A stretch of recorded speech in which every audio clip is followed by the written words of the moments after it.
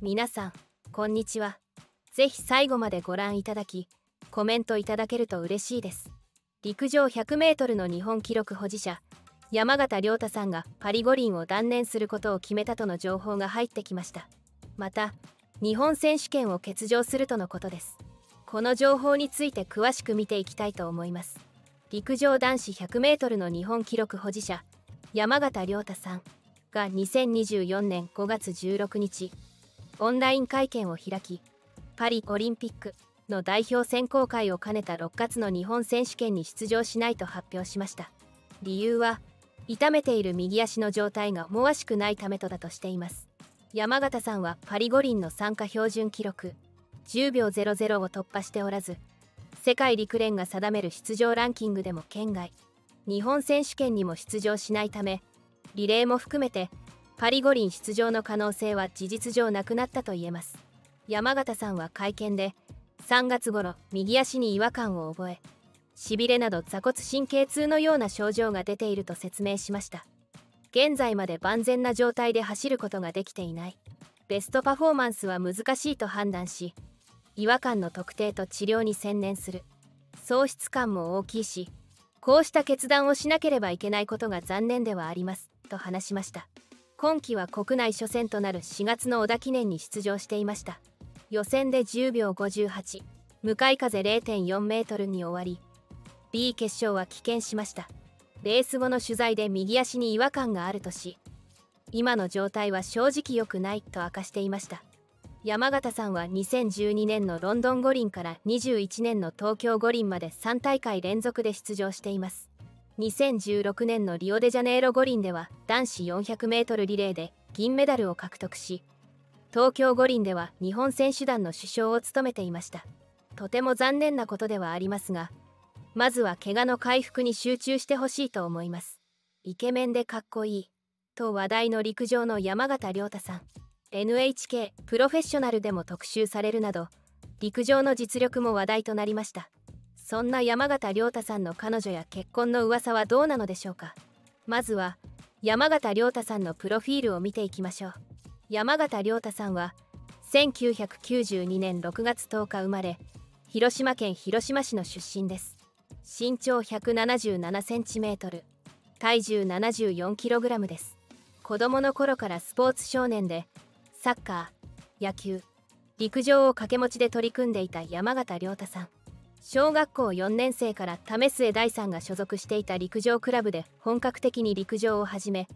5年生には全国大会の 100m で8位に入賞しました。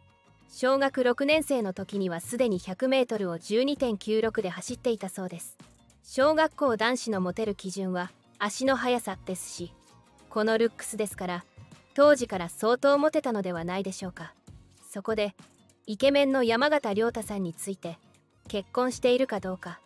気になっている人が多いのではないでしょうか。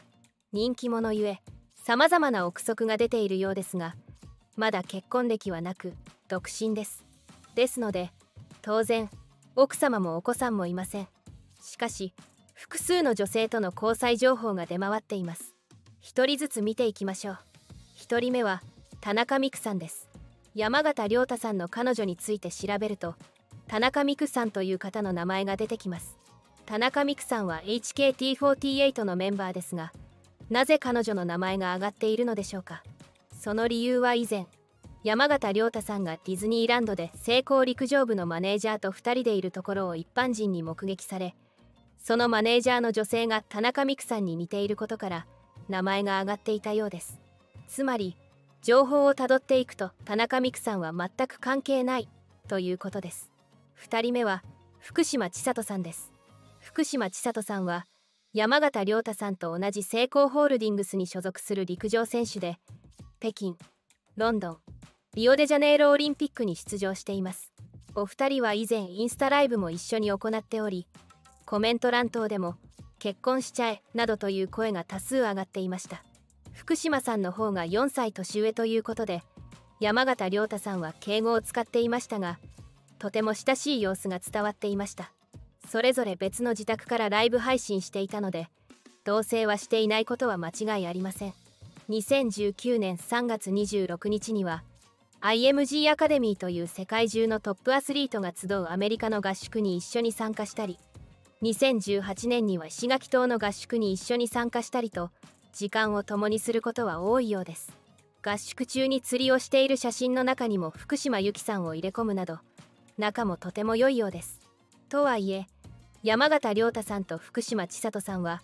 ただの成功の陸上部の先輩後輩であるという可能性も十分に考えられます。とても自然でいい雰囲気でお似合いなのではと思われますがいかがでしょうか。3人目は成功の陸上部マネージャーです。先ほどの田中美久さんの話題にも出てきたディズニーランドでデートしていたとされる成功陸上部のマネージャーも彼女として有力視されています。こちらは画像などもなく真相は不明です。この噂が本当であればやはり陸上関係の方だと話も合うので付き合っていて楽しいのかもしれません。ともあれ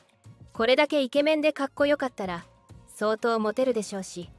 彼女の1人や2人いてもおかしくありません。さて9秒95の日本新記録を叩き出した山形さんは高校時代から注目を集めるスプリンターでした。しかし好成績を記録したかと思えば長引く怪我に苦しめられるという極めて起伏に富んだ選手生活を送ってきたといえます。コンマ01秒を縮めるためにアイザック・ニュートンの数式を走りに取り入れ己を徹底的に客観視する走る哲学者。そんな山形さんを10年以上にわたって追いかけてきたスポーツジャーナリストが山形さんが得得した走ることの意義に迫っています。世界選手権から1ヶ月後の9月日本インカレを終えた翌朝に腰に痛くてベッドから起きられなかったほどの激痛が走りました。たちの悪い腰痛だったそうです。12月に取材する機会がありこのことを聞かせてもらったそうです。一旦痛みが引いたりまた痛いなと思い始めたりだましだまし試合に出ていたんですけど11月初めの大会の後に全く走れない状態になってしっかり痛みを取ってから大事な冬季練習の時期に入るために1ヶ月近くしっかり休んだんですけどね。正直言ったら今良くなっているかと言ったら微妙ですねと語っていました。それ以上の具体的なことを彼は語らなかったそうです。しかし微妙ですねという言葉の響きからは先行きへの不安がにじんでいました。この時の彼の悪い予感は的中しました。よく2014年は腰痛の影響を引きずり記録が低迷しました。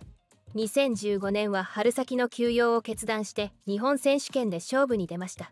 しかしそこで腰痛が悪化してしまいます。100m の準決勝で欠場を余儀なくされ北京での世界選手権の出場を逃しました。しかし山形亮太さんは地道な歩みを止めなかったのです。めげそうになることも走る意味を見失いそうになることもあったかもしれません。しかし山形亮太さんは以前よりも強くなって戻ってきました。2016年のリオ五輪 100m の準決勝に進出して日本人五輪最高の10秒05で走り 400m リレーで銀メダルを獲得しました。2017年は3月の豪州でのレースで右足首を痛めたことが響きロンドンでの世界選手権をまたしても逃します。夜寝つけないことが増えた。にもかかわらず代わりに国内で土台から力を蓄えました。秋になり世界選手権から帰ってきた桐生選手が9月に9秒98を出しました。山形亮太さんはすぐに桐生選手に祝福のメッセージを送りメディアに向けて今回の記録を上回れるように練習に励みたいとのコメントを出しました。それから2週間後の9月24日山形亮太さんは大阪市で行われた全日本実業団対抗選手権の決勝で10秒00を出した。後半もスーッと伸びていく一直線の走りだったといいます。風は無風に近い追い風0.2メートルでした。もしももう少しだけ強い追い風が吹いていたらレースを見ていた多くの人と同じように私は実質的な9秒台を苦々しく思った。だが現実に起きることはただ一つだけだ。現代の細密な電気システムに10秒00という時間の区切りが計測されたという事実があるだけでした。2018年にはインドネシアの首都ジャカルタで開かれたアジア大会の決勝でも2度目の10秒00を出し銅メダルを獲得しました。しかしあと100分の1秒先にはやっぱり行けなかったのです。2019年のシーズンに入り今年こそはという思いだったことでしょう。ところが6月に突然の気境を患い11月には米フロリダ合宿中に右足首靭帯断裂。余波はよく2020年まで続き唯一出場した8月の成功ゴールデングランプリはかなり遅いタイムで予選落ちしました。災難はまだ起こります。2020年の秋に右膝が痛み出し右室外腱炎でほとんど練習できない事態に陥って試合に出ました。一番辛い時期だったかもしれない。膝は完治しないし治っても同じ動きをしたらまた怪我をする。もう俺続けられないかもみたいなことを思ったと述べています。こうして繰り返し襲いかかる災難に遭いながら山形亮太さんが歩き続けてこられたのはどうしてでしょうか。山形亮太さんはいろいろと思い浮かぶことはあるけれど19歳の初夏に語ったどこまでも行ける気がするんですという言葉に立ち戻ってくる気がすると言います。困難の渦中にいる時にはこの暗いトンネルからいつ抜け出せるのかそれどころか本当に抜け出せる時が来るのかさえまだ分かりません。他方で2019年2020年と怪我の続発する頃にはついに9秒台を出せずに終わったとしてもそれも彼の人生かなとファンは密かに思うようになっていました。もちろんアスリートたるもの三千と輝く結果を残すことが最大の目標に違いないでしょう。僕にもし愛する家族ができたとして陸上での成功と家族の幸せのどちらかを選択しなければならないようなことになったら多分陸上を諦めると思いますと述べています。あれは陸上をいつでも投げ出したって構わないという意味ではなかったことでしょう。どこまでも行った先に 100m 走での栄光以上の幸せが待っているかもしれないんだという深い洞察と強い覚悟のように感じられました。そんなことが代わりの価値を見いだせる人と思うようになった根底にあるのかもしれません。しかしついに山形亮太さんは10秒00の壁を破りました。その走りは春先のレースから際立っていました。力みなくだから力強くおおらかにかける身体の躍動。泥沼の危機をくぐり抜けてさらに新たなものを獲得しているように見えました。ここがゴールではないでしょう。さて山形亮太さんは2015年4月に成功ホールディングスに入社しました。成功ホールディングスでは初のアスリート支援選手第1号です。山形亮太さんは成功ホールディングスに所属している社員選手ということになりそこから給料をもらっているということになります。山形亮太さんの年齢は31歳ですので同社の年収を調べた結果年収400万円くらいはありそうです。一般的なサラリーマンの年収だと思われます。いかがだったでしょうか？今回は山形亮太さんについて見てきました。山形さんは出産予定日よりかなり早くこの世に生まれ出てきたそうです。一時は生死の境をさまよい。そして助かり現在に至ります。亮太は生まれた時に生きるか死ぬかという試練を経験した。だからこれからどんな困難があってもどうにかなるだろう。これはお父さんの言葉です。ですので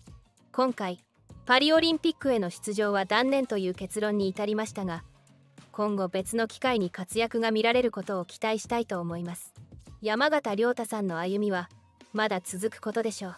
今回の動画の感想や